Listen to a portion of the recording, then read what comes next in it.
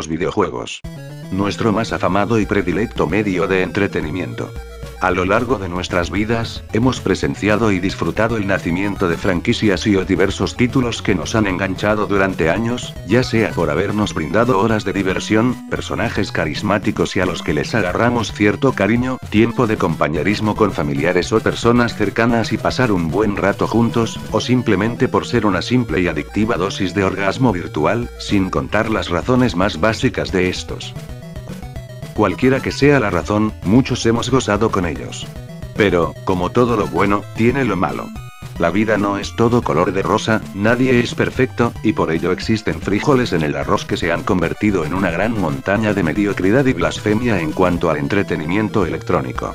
Pese a que hay títulos que por mínimas razones tienen sus errorcillos, también están los que son una porquería a simple vista de mono ciego. Tanto por esto, y porque ustedes lo pidieron, aquí les traigo mi top 10 de las más grandes mierdas que se han podido crear por el hombre en el mundo virtual. Sin más parlanchinería, comencemos. Number 10. Ok, mentanme la madre si a ustedes les gustó este semejante bodrio que rima con M de moco. Basado en la película de la batitarjeta de crédito, se nos da esta cosa que para serles franco, hace que prefiera jugar los Castlevanias del 64. Sí, así de malo es esto. Primero resaltemos lo positivo. Tuvieron al menos la buena intención de llevar al hombre murciélago al nivel 3D, donde igualmente se daría a la suerte su futuro en los juegos de nueva generación. Y la verdad es que, pasó exactamente lo mismo que con los Castlevanias del 64. Y que conste, solo me baso en lo vivido de este juego, y en la época en el que salió a la venta. Para empezar, obviamente las gráficas se ven horrendas y todo eso, pero respeta el resaltado diseño y apariencia del respectivo personaje. Los escenarios son pasables, y al menos son los que se le admiraban a un juego de PS1. Pero es justo ahí donde los problemas comienzan a surgir. El objetivo del juego es cumplir las diversas misiones, resolviendo los casos con las herramientas que solo el gran Batman podría utilizar, pero es aquí donde todo se va para la chingada, ya que la jugabilidad resulta ser de la más recontra super archi mega tosca de todas, con un personaje que apenas se mueve a medias, y eso que eligiendo a Robin, que supuestamente es el personaje más ligero y rápido, va a la misma lentitud que Batman y Batichica. Y con este caminadito, también se va a la mierda el combate, que la verdad, no sé ustedes, pero no se siente nada especial, nada fluido y nada emotivo. Es aburrido, y solo me deja colgado al estar machacando el botón de ataque una trillonésima de veces. El nivel de dificultad es bastante desafiante, pero teniendo en cuenta todo lo anteriormente mencionado, ya te podrías imaginar estar en la inmunda. Al menos este juego nos trató de ambientar a la perspectiva de Batman, pero no consiguió hacerlo como esperaba. Tosco, horrendo y aburrido es lo que define a este pinche juego. De una película cutre y sin chiste pero entretenida, sale un juego asquerosamente pútrido. A la mierda.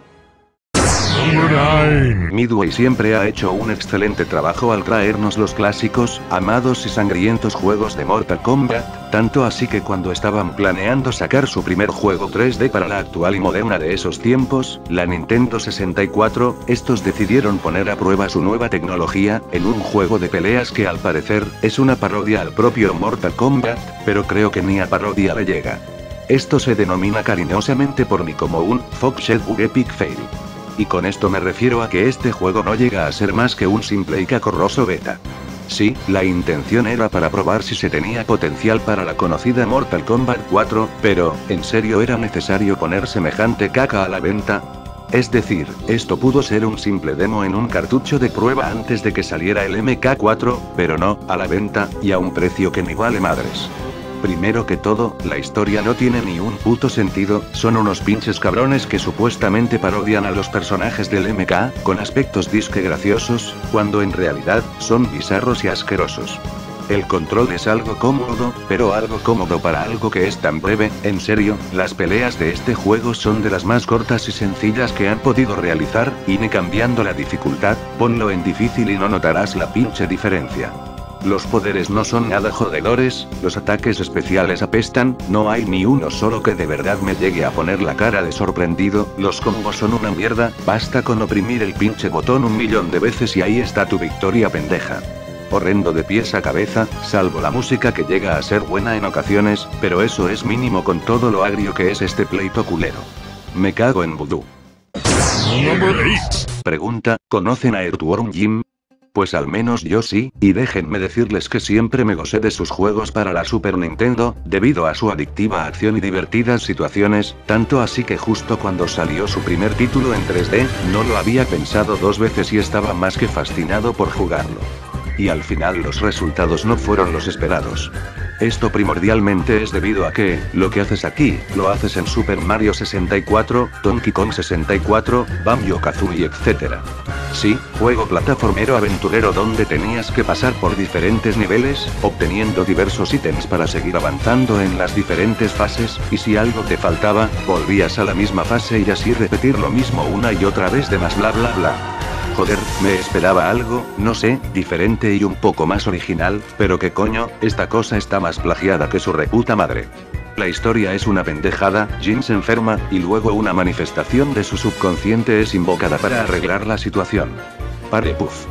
El control sobre Jin es fastidioso, no se siente nada cómodo, sin mencionar de que a veces es muy harto, debido a que en ocasiones irá a direcciones contrarias a las que deseas ir, la cámara como era de esperarse, se mantiene fuera de lugar, el pésimo control de esta mierda hacía que tuviera que repetir la respectiva fase un montón de veces, debido a que no hay coordinación alguna. Vaya transición de 2D a 3D tan efectiva. Qué lástima. Number 7. Devil May Cry. No, Devil May Cry 2. Sí, considerado por mayoría como la ovejita negra, este pinche juego culero no es más que una versión bizarra de lo que fue su predecesora. La historia es simple, aceptable al principio, y caca al final. Sí, empieza con esa esencia que te mantiene enganchado a la trama, pero mediante el transcurso de esta, todo comienza a deteriorarse poco a poco.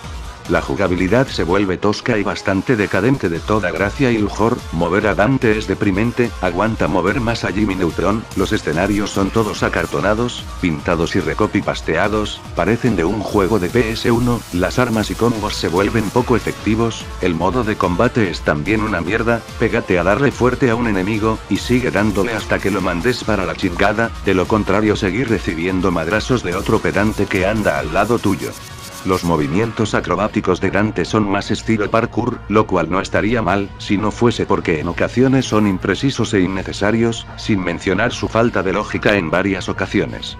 Y por último y no más importante, la personalidad de Dante. Cuando queremos jugar con el conocido cazademonios, esperamos jugar con un tío simpático, creído, sarcástico y aletoso, no con un pedante serio callado que solo le falta la mariconsuelería de Toby Maguire. Qué bueno que todo se mejoró en el Devil May Cry 3, ya que este sin duda, es un pedazo demoníaco de santísimo excremento. Puedes llorar, pinche pedante. Number 6. ¿Qué pasa si agarramos los geniales juegos explorativos aventureros del joven mago Cuatro Lámparas, les cambiamos la jugabilidad y completamente el formato en sí, dándole estilo de shooter y puro dispare dispare tipo Gears Software, que obtenemos? Esta aberración sacada de la bóveda más abandonada de gringos. No sé ustedes, ya muchos me han insultado, alegado, pataleado, chillado y etcétera, todo debido a que remandé este juego pa'l quinto carajo, pues ¿saben algo? A mí me importa un saple y jue madre culo de lo que piensen de esto. A ustedes les habrá gustado, pero a mí no, y que quede claro, a mí no. Esto es como convertir a los juegos de Zelda en shooters, y no, el Link Crossbow Training no cuenta coño. Las gráficas de este juego tendrán sus buenos efectos de luz y sombra, pero el aspecto moribundo de los personajes es en donde se manda a la mierda todo, la jugabilidad es horrenda, es difícil atinarle a los enemigos, los hechizos son poco efectivos, la movilidad no me gusta en lo absoluto, el arsenal de hechizos da resultados que varían, y créanme que seguiría hablando mal de esta cosa hasta que me muera. Es bueno que al menos en la parte 2 se mejoraron muchos aspectos con respecto a este bodrio, pero a lo bien, de juego de acción, le veo muy poco. Más bien es una burla, un insulto, una fachada a todo lo que fueron los juegos anteriores. Vengan a poner mil y una excusas, pero saben que lo que digo es cierto, y no, este juego no tiene es nada de explorativo, más explorativo tiene un juego de Barbie exploradora, carajo. A la mierda con este juego. Number 5. ¿Que es peor que ver Los Ángeles de Charlie al límite? Jugar un pinche juego de estas días en tu PS2. A ver, cuando yo iba a jugar este juego, pensé que más o menos sería un juego de acción con persecuciones y misiones estilo James Bond, e incluso creí que sería parecido a un jueguito soso de celular, que por cierto era muy entretenido. Pero no, al carajo se dijo.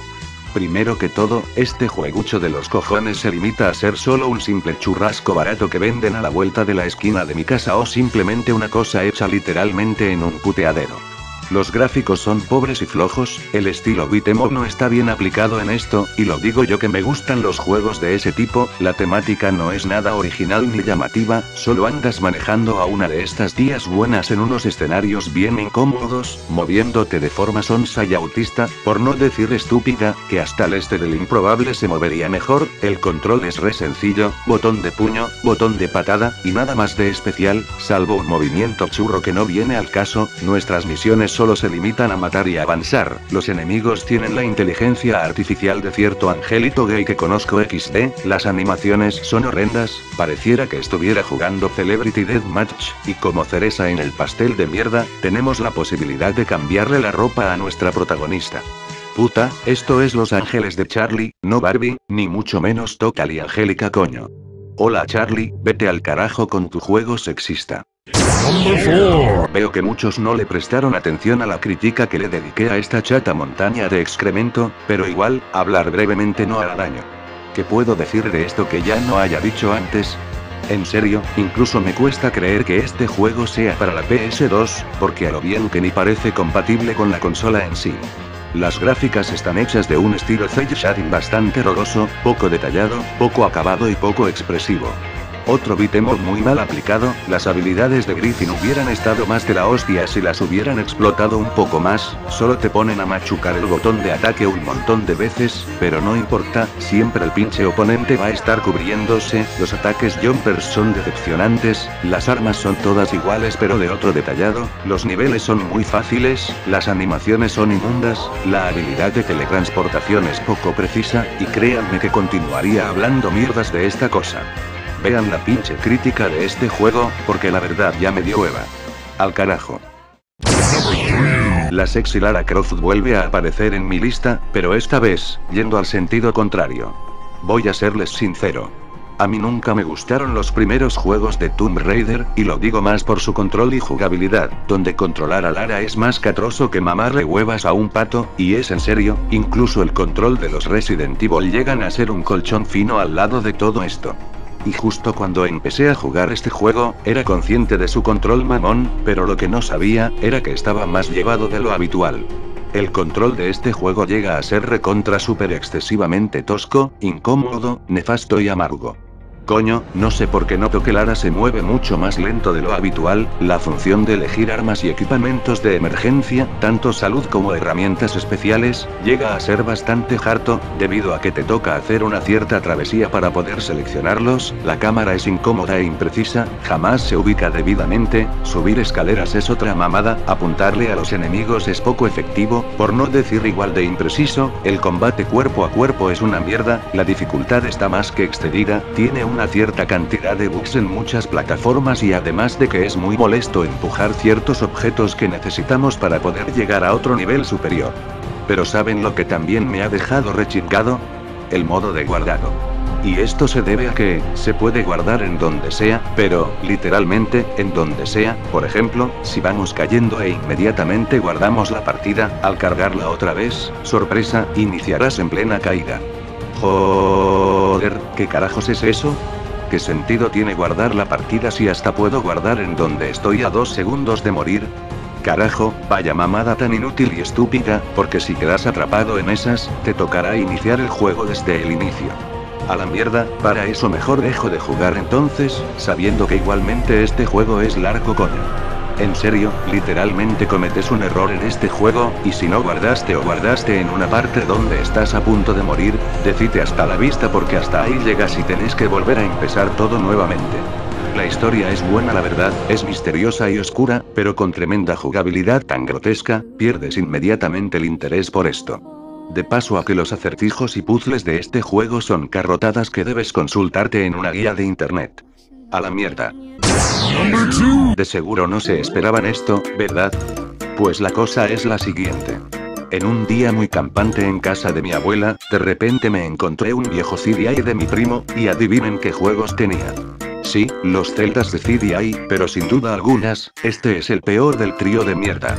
La jugabilidad es absolutamente incómoda, las animaciones son todas chotas, rancias y sin carisma, el diálogo es pendejo y sin chiste, los escenarios son puros fondos pintados que cualquiera podría poner, los personajes son todos bizarros a diferencia de los originales, y en fin, demasiadas cosas que hacen a este juego, uno de los mayores errores de Nintendo, al permitir dejar en disque buenas manos a una de sus más afamadas franquicias, para crear jueguchos que no valen la pena. Increíble que esto lleve el nombre Zelda, qué falta de respeto, Dios. Oh, miren en el cielo, ¿es un ave? ¿Es un avión? No, es un pseudo juegucho de mierda.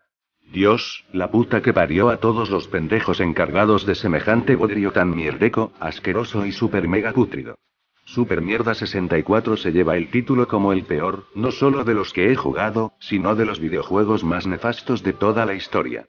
A ver, primero que todo, ¿a quién cojones se le ocurre la puta idea de poner a la venta un pinche beta, donde apenas se prueba el motor gráfico, la jugabilidad y los demás elementos de este? ¿En qué chingados estaban pensando? Dios, las gráficas de este juego, en fin, horrendas, acartonadas, sin vida, con una millonada cantidad de bugs, historia poco pensada, jugabilidad súper repetitiva, atravesar aros de los cojones, hacer no sé qué mierda después, y luego volver a volar a través de aros, es que en serio, ¿no se les ocurrió algo mejor? Incluso esto solo pudieron darlo como un juego Dimmy Puzzle, pero no, todo hecho a la loca y con poca creatividad, una ciudad virtual con niebla de kriptonita que solo se la creería un grandioso pelmazo, unos movimientos y habilidades de ataque tan culeros que hasta el este del improbable tiene mejores ataques por caridad de la concha.